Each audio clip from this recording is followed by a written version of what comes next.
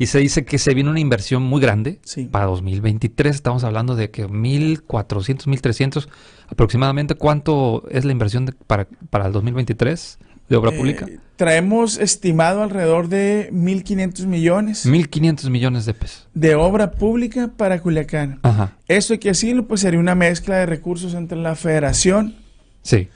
entre el gobierno del estado y Culiacán, el municipio de Culiacán. Eh, es un presupuesto histórico. Altísimo. Si el- el- solamente el gobierno del Estado 2.700 millones este año.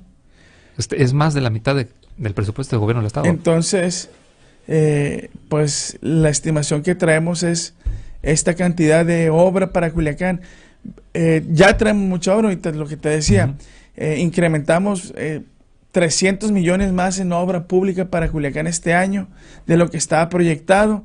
Son porque se están haciendo muchas de ellas todavía, eh, más de 650 obras, mucha pavimentación, pero el siguiente año viene, te digo, porque traemos ya planeación, sabemos cuáles son nuestras calles estratégicas, Luz Noticias, el noticiero que todos seguimos.